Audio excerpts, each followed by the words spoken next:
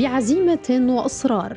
يتابع جرح الجيش العربي السوري بمحافظة طرطوس مسيرة حياتهم من خلال تقديمهم لامتحانات الشهادة الثانوية العامة بمختلف فروعها وسط تسهيلات من الجهات المعنية.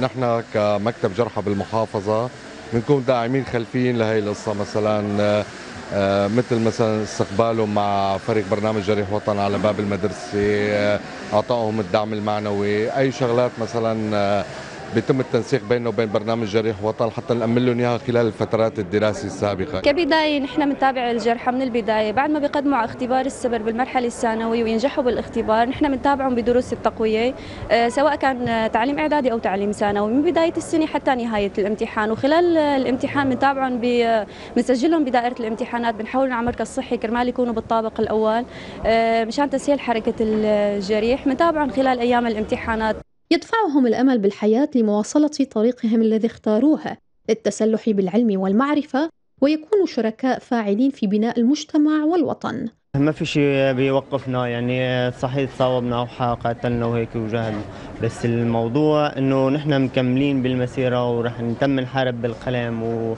ونحن صامدين بإذن الله. الإعاقة مو إعاقة الجسد، إعاقة العقل. راح نكمل مثل ما كملنا على طريق النصر بالسلاح راح نكمل على طريق النصر بالقلم في بناء سوريا. في مشوار بدنا نكفيه مشوار الحياة ما خلصت بدنا نكفي بدنا نقدم بكالوريا وبعد البكالوريا. إيه أنا برسم حابب كفي معهد فنون. رغم الإصابة ورغم الجراح نحن عندنا طموح نكمل ونقرأ وننتزم الجامعة وأهم شيء اللي بدنا يحصلنا عليه طهرنا أرض الوطن. رغم جراحهم وفقدانهم لأجزاء من أجسادهم يتحدون كل الظروف الصعبة ويكملون تحصيلهم العلمي بإرادة قوية ليكونوا جزءا مساهما بإعادة إعمار الوطن.